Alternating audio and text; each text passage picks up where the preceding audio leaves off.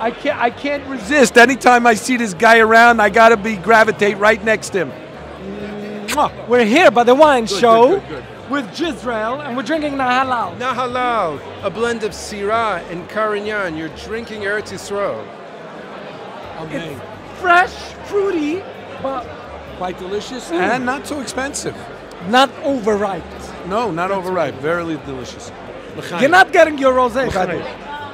Lass mich wissen, wie soll es dir gewinnen, als ein lechtiger Schabbat.